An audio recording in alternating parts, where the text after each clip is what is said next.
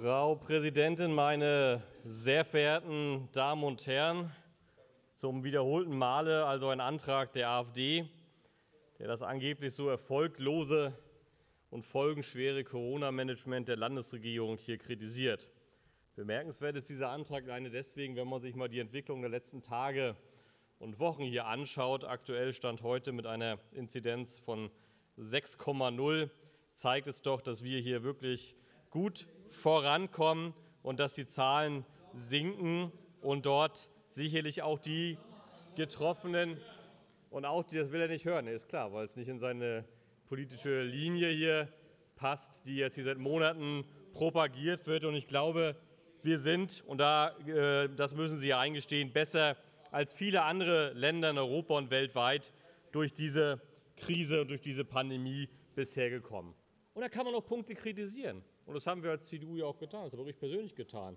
Aber das ist ja nicht, gar nicht die Frage. Aber Sie können ja nicht leugnen, dass jetzt auch die getroffenen Entscheidungen, auch was das Thema Kontaktbeschränkungen angeht, nun gar keinen Einfluss auf die Zahlen gehabt haben, meine sehr verehrten Damen und Herren. Das werden Sie ja wohl hoffentlich hier nicht leugnen.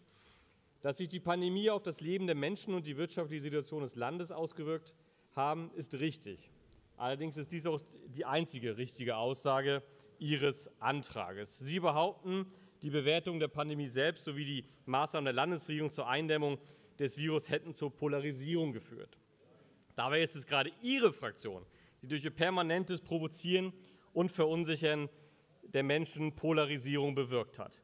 Und dass der Kurs Ihrer Fraktion nicht mal mehr von der eigenen Parteibasis getragen wird, das konnten wir nun eindrucksvoll vor einigen Wochen bei Ihrem Landesparteitag sehen, meine Herren von der AfD. Wenn ich dann am 18. Mai im Nordkurier lese und ich zitiere, die Partei will Mitglieder in der Fraktion haben, die auch arbeiten und nicht nur Abgeordnete, die vier Jahre eher mit Untätigkeit glänzen und dann stunk machen, hieß es von nicht wenigen Parteimitgliedern.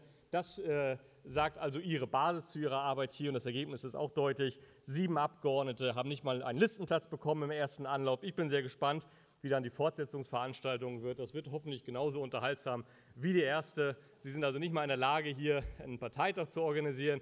Sie haben sich komplett von der Parteibasis hier entkapselt an der Stelle, so weit von entfernt. Das kann ich Ihnen wirklich gratulieren. Sie haben es in fünf Jahren geschafft, sich komplett zu entfernen von Ihrer Parteibasis. Da sind Sie mucksmäuschen still, da kommt kein Zwischenruf mehr. Von daher trifft es wahrscheinlich in der Tat das Schwarze. Professor Weber, ja, Ihr Genau, ihr, ihr, Ihre Wahlergebnisse haben wir ja auch gesehen. Herzlichen Glückwunsch nochmal dazu, als parlamentarischer Geschäftsführer nicht mehr auf die Liste zu kommen. Das muss man erst mal schaffen. Herzlichen Glückwunsch, das ist wirklich einmalig hier in der Geschichte dieses Landes.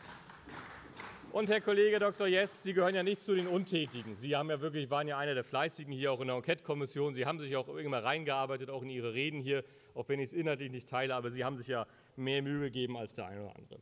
Aber ich kann es Ihnen natürlich nicht noch mal ersparen. Sie haben ja auch in Ihrer Rede noch mal den hochgelobten schwedischen Weg hier angesprochen.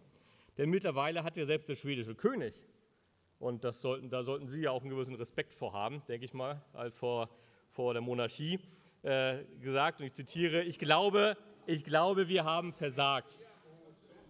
Na wieso, Sie schwenken doch die schwarz-weiß-roten Fahnen, wir sind doch bei den Demos mit dabei. Das zeigt mir doch, dass Sie der, der Kaiserzeit äh, hinterher laufen. Also, Zitat des schwedischen Königs, Zitat des schwedischen Königs. Zitat des schwedischen Königs, ich glaube, wir haben versagt. Viele Menschen sind gestorben und das ist furchtbar. Das schwedische Volk hat enorm gelitten. Und Sie stellen sich immer noch hier hin, verteidigen diesen schwedischen Weg, obwohl mittlerweile selbst die Schweden erkennen, dass sie auf Holzweg waren, meine sehr verehrten Herren von der AfD. Sie haben wirklich nichts dazugelernt. Und mit dem ständigen Relativieren der Pandemie durch den Vergleich mit einer herkömmlichen Grippe, Zwischenrufer ja eben auch wieder, das Herunterspielen der gesundheitlichen Gefahren bis hin zum Verharmlosen der Todeszahlen haben Sie nichts, aber wirklich nichts zur Bewältigung der Pandemie hier in Mecklenburg-Vorpommern beigetragen, meine Herren von der AfD. Im Gegenteil, Sie haben Bürger eine falsche Sicherheit vermittelt und so zur Eindämmung des Virus nicht aktiv beigetragen. Das Tragen von Masken, die Einhaltung von Mindestabstand wurde von Ihnen ja mehrfach verhöhnt, äh, öffentlich ja auch zur Schau gestellt, dass man davon nichts hält, selbst in der Hochphase der Pandemie. Und jetzt noch einmal zu Ihrer zentralen Forderung, nämlich einer neutralen wissenschaftlichen Analyse. Das finde ich schon spannend. Weil Sie machen, werfen uns ja vor, oder der Landesregierung oder der Bundesregierung oder wem auch immer, dass wir uns nur Wissenschaftler aussuchen, ja, die uns irgendwo zum Munde reden, wo es keine Kritik gibt, etc. Aber genau das Gleiche fordern Sie doch auch. Sie wollen ja auch dann Wissenschaftler nehmen. Sie sagen ja ganz genau, wen Sie nicht dabei haben wollen und sagen, wen wollen Sie denn dabei haben. Also genauso geht es doch auch an dieser Stelle. Und Sie unterschlagen dabei ja auch, dass auch die Landesregierung, die Entscheidung der Landesregierung auch immer auf äh, wissenschaftliche Begleitung gefußt hat. Das sind ja nicht vom Himmel gefallen, die Entscheidungen, sondern man hat sich beraten.